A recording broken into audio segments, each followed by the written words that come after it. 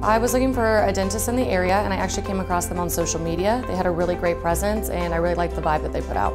I came in, they immediately made me feel like family because they definitely act like a family, so I felt comfortable instantly. Dr. Blocker is fantastic.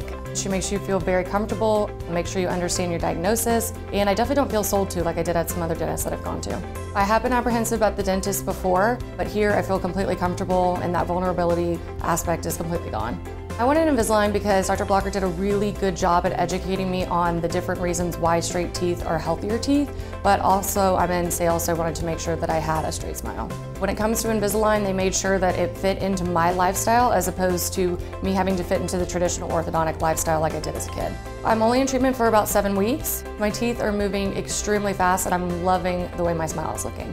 PA Dental Arts is fantastic. They obviously get along really, really well and they've found the perfect team members to make sure that the vibe is great.